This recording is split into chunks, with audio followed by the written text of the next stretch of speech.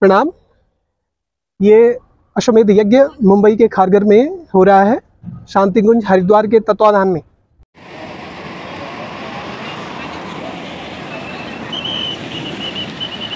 And how are you feeling here?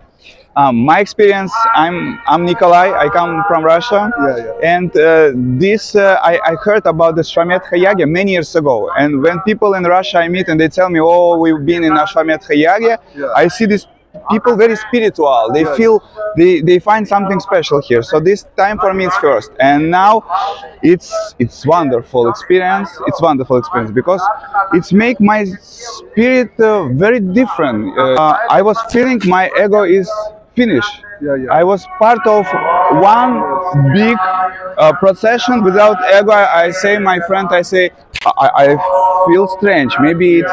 But you you realize that Then I realized, and I say, thanks God. So now I'm a part of this family, Yeah. and I'm very happy. Kuva svaha, tat svetur varenye, margo devasya, thima hi, tiyo yo na, prachodayat. Thank you.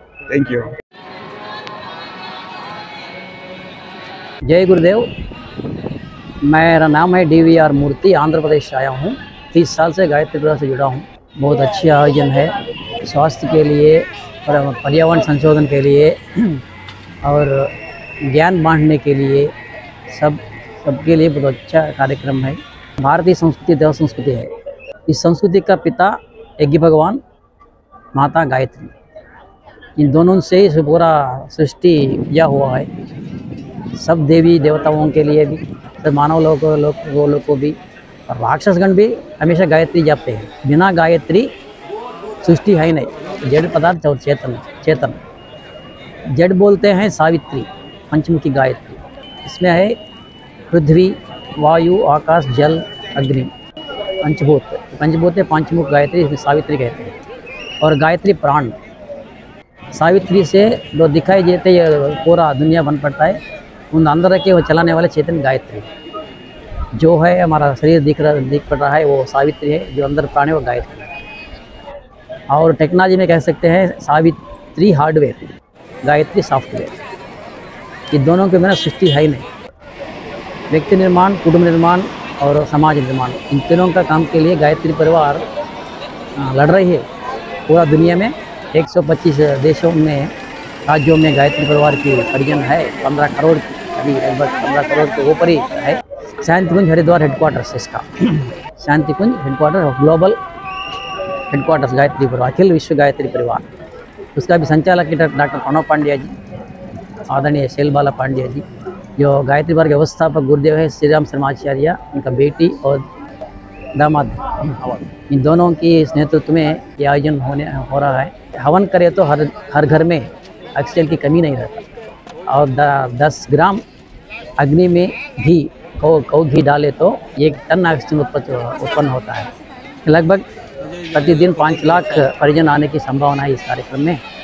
और करोड़ों रुपए खर्चा भी हो रहा है। तो अपना यज्ञ में बैठने मुफ़्त है, सब मुफ़्त है और पूजा सामग्री मुफ़्त में देते हैं, भोजन भी मुफ़्त में देते हैं और रहने के लिए सब हाँ टेंट्स बनी हुई है। अस्सी अस्सी हज़ार लोगों को रहने के लिए व्यवस्था है इधर और अभी डॉक्टर भानु पांड्या जी और जी भी आ चुके हैं। अभी उनके नेतृत्व में ये पाँच दिन यहाँ रहकर हम सब लोग मिल मिलजुल काम करेंगे। इसमें कन्याकुमारी से लेकर कश्मीर तक और मुंबई से लेकर कोलकाता तक हर राज्य, हर प्रांत, हर भाषा लोग, हर जाति, धर्म, बिना भेदभाव, स्त्री, पुरुष, छोटा छोटा, बड़ा और कुछ भेदभाव भी नहीं रहता। सब मिलकर काम करते हैं। सभी लोगों के निमंत्रण है, इस यज्ञ में भाग लेकर, आहुति देकर, गायत्री माँ कृपा पाने के लिए आमंत्रित है। और 25 तारीख रविवार को इसकी पूर्णा होती होगी शाम दोपहर तक। इससे कार्यक्रम खत्म हो जाएगा। आज का ये जो कार्यक्रम हो रहा है मुंबई के नगरी में ये बहुत ही ऐतिहासिक कार्यक्रम हो रहा है शांति कुंज हरिद्वार के द्वारा और एक अश्वमेघ यज्ञ का यहाँ बहुत बड़ा विराट आयोजन किया जा रहा है। आज ये प्रथम कार्यक्रम में महिलाओं के, के द्वारा शांति कुंज से जो कलश आया हुआ है पाँच किलोमीटर दूर जाके वहाँ से सारे सारे कलश को महिलाएँ लेके यहाँ पर यज्ञ स्थल में पहुँचेगी, जयकारा के साथ। इस आर्थिक नगरी में लोगों का विचार का बदलाव हो, लोगों का नशा मुक्ति का हो जाए लोगों में, लोग का विचार बदल जाए, अच्छे चीज़ में अपने धन का सदुपयोग करें। इस ढंग का कार्यक्रम ये लेके शांति कुंज हरिद्वार का आदमी यहाँ आया हुआ है और ये कार्यक्रम सफल बनाने जा रहा है। नमस्कार, मेरा नाम विष्णु थारू है। हम नेपाल से आए हैं यहाँ अश्वमेध यज्ञ मुंबई में भाग लेने के लिए। हैं सिक्योरिटी में यहाँ काम दे रहे हैं, समय दान कर रहे हैं। और ये कार्यक्रम 21 से 25 फरवरी तक होगा। काफ़ी अच्छा लग रहा है। सब अपना ही माहौल है। गुरु जी की शरण में काम करने का मौका मिला है। और परिवार गायत्री में परिवार है। ऐसा लगता है कि खुद का ही परिवार है। घर में ही है अभी। बाहर नहीं आए हैं।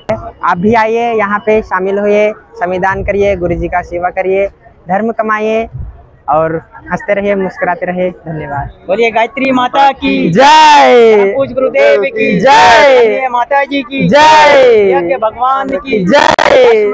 यज्ञ सफल हो। सफल हो सफल हो। यज्ञ सफल हो सफल हो सफल हो।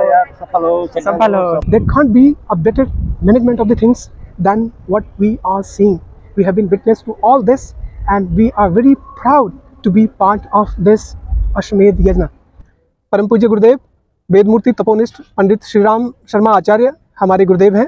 उन्होंने चार वेद अट्ठारह पुराण 108 उपनिषद, धर्म, शास्त्र और नीतियों का हिंदी में सरल अनुवाद किया। संपूर्ण विश्व में हज़ारों हज़ार गायत्री शक्तिपीठों की स्थापना करी। मथुरा में गायत्री माता का मंदिर, गायत्री माता की प्राण प्रतिष्ठा और हरिद्वार में शांति कुंज हरिद्वार, कई एकड़ में जो हमारा आश्रम फैला हुआ है, उसकी स्थापना करी। पंडित श्रीराम शर्मा आचार्य, हमारे परम पूज्य गुरुदेव, अपना सर्वस्व जो उन्होंने निछावर किया मानवता की भलाई के लिए, मनुष्य देवता बने बने यह धरती स्वर्ग समान, यही संकल्प हमारा, यही संकल्प हमारा, ये अश्वमेध यज्ञ 1008 कुंड का जो यहाँ पर हो रहा है, ये 21 से 25 फरवरी तक चलेगा। और आज 21 फरवरी है, अभी हमारी पाँच हज़ार से ज़्यादा बहनें कलश यात्रा में गई हुई हैं, उनका इंतज़ार हो रहा है, अभी उनका अभिवादन किया जाएगा देव मंच से। और कल का दिन देवताओं का आवाहन किया जाएगा। पूरे कुंड में अगर आप देखेंगे तो 1008 कुंड बने हुए हैं पूरी यज्ञशाला में। षटकोणीय तरीके से बने हुए हैं स्क्वायर के तरीके से बने हुए हैं। 24 जोन में उसको बांटा गया है और हर कुंड में भगवान की प्राण प्रतिष्ठा हो, यही कल का कार्यक्रम उसके लिए निर्धारित किया गया है। शाम को फिर कल कथा वाचन होगा और 23, 24, 25 फरवरी को समस्त वैदिक संस्कार किए जाएँगे। जैसे आप सामने देख सकते हैं कि ये संस्कार शाला है। मोटे मोटे जो संस्कार कराए जाते हैं वो पुनसवन संस्कार होता है फिर अन्नप्राशन होता है फिर नामकरण होता है दीक्षा का संस्कार होता है विद्यारंभ होता है और जन्म दिवस मनाया जाता है विवाह दिवस मनाया जाता है। इस तरह के संस्कारों को कल कराया जाएगा। हमारी बहनें वहाँ पर अब देख सकते हैं आप कि वो कल के लिए लिस्ट अपनी तैयार कर रहे हैं। सामने अगर देखेंगे आप तो यज्ञशाला है और इस यज्ञशाला के साथ साथ चारों तरफ़, चारों कोनों में सात प्रतीक्षालय बनाए गए हैं। सात बड़ी बड़ी वीडियो स्क्रीन लगाई गई हैं और आज तक का जो रजिस्ट्रेशन के हिसाब से जो आंकड़े हैं, हमारे पास कम से कम दो लाख लोग पहुँच चुके हैं और 25 तारीख तक जब तक यज्ञ समाप्त होगा, हमें ये आशा है कि यहाँ पर पाँच से सात लाख के करीबन लोग पहुँचेंगे। इसी कार्यक्रम में महाराष्ट्र के मुख्यमंत्री जी भी शिरकत करेंगे। आज अभी शांति कुंज के हमारे डॉक्टर चिन्मय पंड्या जी और उनके साथ महाराष्ट्र के वन मंत्री पधारने वाले हैं। मंच से उनका उद्बोधन होगा। और यहाँ पर भोजनालय की भी व्यवस्था है। तीन जोन में भोजनालय को बांटा गया है और साथ ही साथ सामने देवात्मा हिमालय मंदिर लगाया गया है। विशाल पुस्तकालय लगाया गया है, जहाँ पर हमारे परम पूज्य गुरुदेव द्वारा रचित बत्तीस सौ से ज़्यादा पुस्तकों को की प्रदर्शनी लगाई गई है और उसके साथ साथ जो भी साहित्य खरीदना चाहता है, वो साहित्य बिल्कुल सस्ते दामों में पाँच रुपये, दस रुपये, पंद्रह रुपये के हिसाब से उन किताबों को ले जा सकता है, क्योंकि ये जीवन उपयोगी साहित्य है। इसके अलावा मैं अपने भाई साहब से रिक्वेस्ट करूँगा कि वो दो मिनट और इस कार्यक्रम के बारे में बताएँ। इसका मुख्यालय शांति कुंज हरिद्वार है, जो वहाँ से सारे देश विदेशों में सारा संचालन करते हैं और हमारे यहाँ इस देश में 700 से अधिक संस्थाएँ हैं जो गायत्री परिवार के द्वारा निर्धारित होती हैं, जो पूर्णतः चलती हैं, जहाँ पर डेली भारतीय संस्कृत संस्कृत को प्रदर्शित किया जाता है, उसको विस्तार किया जाता है और हर 700 से अधिक यहाँ जितने भी इसके शाखाएँ हैं, वहाँ पे डेली यज्ञ होते हैं और वहाँ पे हमेशा जो ये भारतीय संस्कृत की प्रथा है, उसको विस्तार किया जाता है, उसके बारे में बताया जाता है और ये सिर्फ़ भारत में नहीं, इसके विदेशों में भी इक्यावन से ही ज़्यादा इसकी संस्थाएँ हैं। अमेरिका, जापान, फ्रांस, रूस, कनाडा ऐसे ऐसे जगहों पे है, जहाँ पे लोगों को बहुत ही रुचि होती है अपने धर्म को जानने के लिए। जो लोग भारत के वहाँ रहते हैं, वो लोग बहुत ही उत्सुक होते हैं, उनको बहुत प्रसन्नता होती है इस बारे में कि हिंदू धर्म भारतीय संस्कृति को बढ़ावा मिल रहा है, वो देश के कोने कोने तक जा रहा है। और गुरु जी ने किसी भी अपने सामाजिक जीवन, धार्मिक जीवन, आध्यात्मिक जीवन, वैज्ञानिक धर्म पे आध्यात्म मतलब उन्होंने किसी भी फ़ील्ड को छोड़ा नहीं है। उन्होंने हर एक फ़ील्ड पे पुस्तक लिखी है। अपने जीवन के बारे में, व्यक्तित्व के बारे में, अपना व्यक्तित्व का निर्माण कैसे करे, परिवार का निर्माण कर, कैसे करे, उन्होंने बत्तीस सौ किताबों में पूरा निचोड़ रखा है कि आप अपने जीवन को कैसे महान बनाएँ, कैसे सुगम बनाएँ। और भारतीय संस्कृति को कैसे जाने? क्या है हमारा भारतीय संस्कृति? और मैं ये दावे के साथ करता हूँ कि ये जो गायत्री परिवार है ना, ये हिंदू धर्म को एक दिन पूरे विश्व में फैलाएगा और विश्व में भारत को विश्व गुरु बनाएगा। कि हमारे ऋषि मुनियों ने जो ऋषि परंपरा थी ऋषि क्या करते थे और रिसर्च करते थे और मुनि क्या करते थे? मनन करते थे, उस पर चिंतन करते थे और फिर सारे धर्म की स्थापना होती थी। धर्म का मतलब क्या था? धर्म का मतलब होता है righteous way to live a life आज अगर हम देखें तो हमारे परम पूज्य गुरुदेव ने जो ऋषि मुनियों की परंपरा है, उसको हमें घर घर तक दे दिया है। घर घर में यज्ञ हो घर घर में संस्कारों को अपनाया जाए घर घर में देवत्व का उदय हो, यही तो भारतीय संस्कृति की परंपरा है। यज्ञ एक वैदिक विधा है। ये ज़ीरो वेस्ट मैनेजमेंट थेरी है। अब देखेंगे आप कि यज्ञ में जितनी भी वस्तुएँ यूज़ होती हैं, वो आग के साथ स्वाहा होकर वातावरण में मिल जाती हैं। यज्ञ की हवन सामग्री में अश्वगंधा मिलता है, गिलोय मिलता है, तुलसी मिलता है, नारियल मिलता है तरह तरह की और जड़ी बूटियाँ मिलती हैं और उसको जब हम अग्नि को समर्पित कर देते हैं तो वो वातावरण में मिल जाता है। और जो धुआँ होता है, उससे क्या होता है? उससे फाइटोकेमिकल्स बनते हैं। फाइटोकेमिकल्स वातावरण में जाते हैं तो बादल बनते हैं, बादल से बारिश होती है। वही धुआँ अगर पानी के साथ मिल जाए और वो पानी आप पी लें तो वो पानी सबसे उत्तम इंग्रेडिएंट्स वाला पानी होता है। और उस धुएँ को अगर हम नासिका के द्वारा अपने अंदर ग्रहण करते हैं तो उससे बेटर कीमोथेरेपी कुछ भी नहीं हो सकती। और उस राख को, यज्ञ की राख को अगर हम खाद के रूप में यूज़ करें तो उससे बेटर न्यूट्रिएंट्स खाद कुछ हो ही नहीं सकता। ये सारी परंपरा हमारे ऋषि मुनियों ने हज़ारों हज़ार साल पहले उसकी, उसका अन्वेषण किया था। हमारे परम पूज्य गुरुदेव ने उसको इस इक्कीसवीं सदी में इस धरा पर उतारा है। हम बार बार कहते हैं कि स्वयं भगवान हमारे गुरु, परम सौभाग्य हमारा है, परम सौभाग्य हमारा है। ऐसे गुरु के हम शिष्य हैं, हमें इस बात पर गर्व है।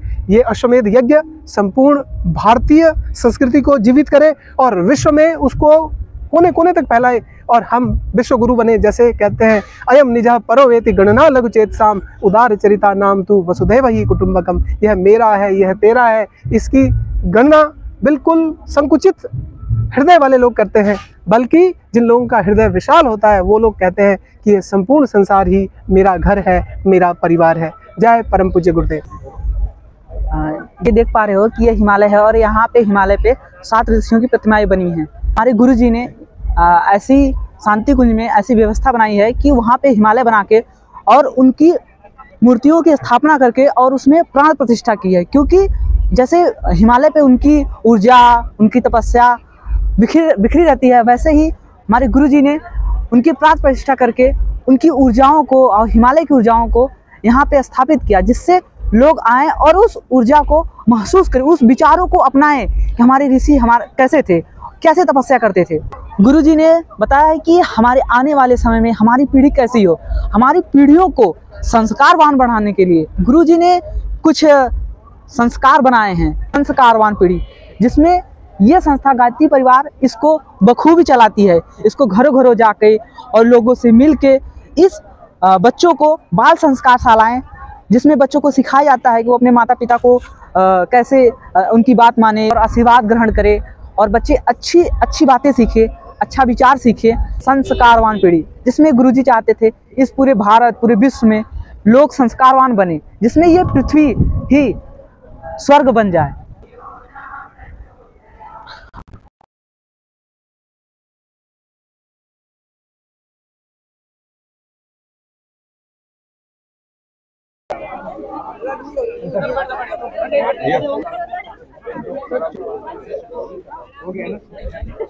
Yeah. किया, वो यही किया। उन्होंने अश्वमेध देवी को किया।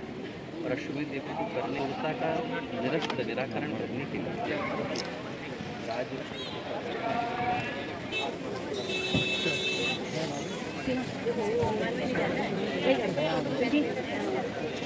जैसे कि आप देख सकते हैं, ये यज्ञशाला बनी हुई है। अश्वमेध यज्ञ हो रहा है। कम से कम तीन से चार लाख लोगों की व्यवस्था बैठने की की गई है कल यज्ञशाला में।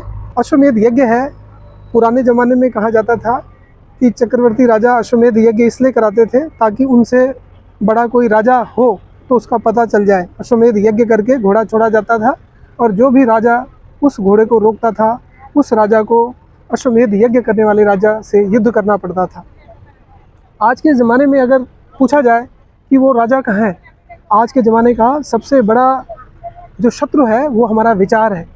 एक मिनट में हमारे मन में हज़ारों हज़ार विचार आते हैं और कहते हैं कि एक दिन में साठ हज़ार विचार हमारे मन में आते हैं। अगर उन विचारों की खेप हम अच्छी कर कर दें तो हमारा जीवन दैवीय हो जाएगा। हम सत्य के रास्ते पर चलेंगे। हम इस संसार को अपनी सच्चाई से सिंचित कर सकेंगे। संस्कृति रही करा, न मेरा रूप बिगाड़ो रे। अगर मनुजता को संवारना, मुझे संवारो रे। मुझे संवारो रे आओ, हम सब मिलकर ऐसा अश्वमेध यज्ञ पूरे भारतवर्ष में करें, पूरे संसार में करें और परम पूज्य गुरुदेव, परम वंदनीय माता जी वेद माता, देव माता विश्व माता, गायत्री, हम सबको ये आशीर्वाद दें कि हम इस तरह के अश्वमेध आयोजनों का पार्ट बने और उनमें भाग लें और विश्व में, भारत को विश्व गुरु बनाएँ। धन्यवाद।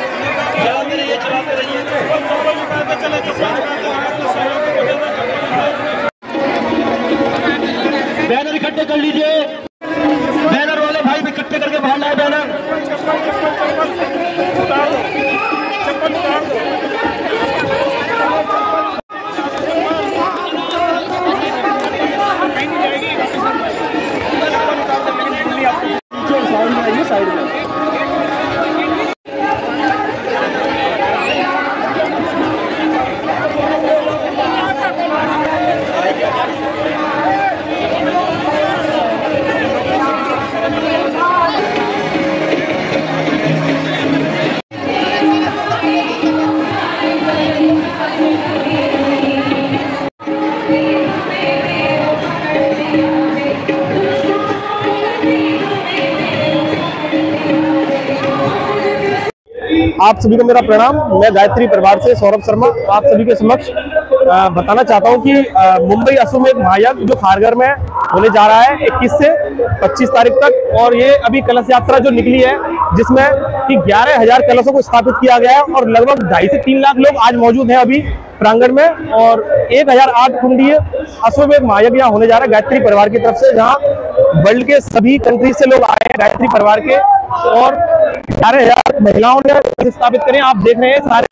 यहाँ पर इतना प्रांगण पूरा भरा हुआ है और ये वैदिक फेस्ट है वर्ल्ड का अब तक का सबसे बड़ा।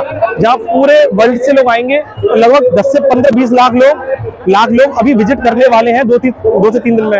और मैं आप सभी से अनुरोध करता हूँ कि आप सभी पधारें और जहाँ से भी आना चाहें, इस यज्ञ में भाग लेके अपने जीवन को उन्नत बनाएँ और अपनी ज़िंदगी में आप तरक्की पाएँगे। इस भावना से ये यज्ञ होने जा रहा है। धन्यवाद। आज विराट कलश यात्रा हुई थी गायत्री परिवार की ओर से और यहाँ अभी इतने सारे लोग आए हुए कि हम इतने गदगद हो रहे हैं और पूरी तरह अच्छे से संपन्न हो पाई है। और शांति कुंज वाले अभी गोष्ठी करने वाले हैं तो इसलिए सबको हम यहाँ पे बिठा रहे हैं। और कल, और तीन दिन हमारे यहाँ यज्ञ होने वाला है विराट यज्ञ, और छब्बीस को हम पूर्णाहुति करने वाले हैं। महाजीवन वृत्त उनके जीवन की बड़ी ही प्रेरणाप्रद झलकियाँ आपको